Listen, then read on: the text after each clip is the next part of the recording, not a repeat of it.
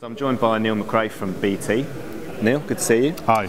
Um, obviously, we're here talking about NFV and SDN, two really hot topics uh, in the telecoms industry. What is BT's current strategy with these two?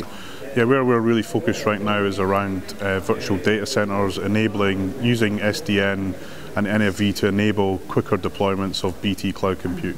Okay, obviously two nascent technologies. What are really sort of some of the key challenges that you're facing as you implement these? Yeah, I think it's a good point. This is new technology, and with new technology comes new challenges, new issues, and you know new niggles, as it were. We're trying to work um, through those to, to ensure that whatever we build is reliable and is kind of business ready for today's customers with the network services they want to offer. Okay. Now, obviously, to do that, you need to work with an ecosystem of partners. Um, so you work with a, a, number of different vendors in this field. What would you, how, how's that going, and what would you like to see them do more or do different? I mean, I think the vendor community has really embraced this technology. I think my, my ask to them would be, what's your right to play? Why, are, why do you think you can add value in this space? And also, what, what are you doing that's different that's going to help me be different in the marketplace? Okay.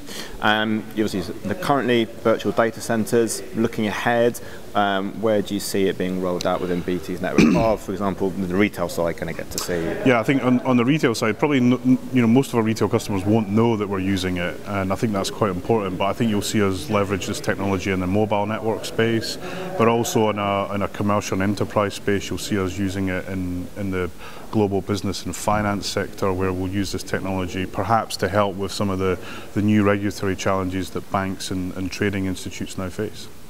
Okay, Neil, thank you very much. You're welcome.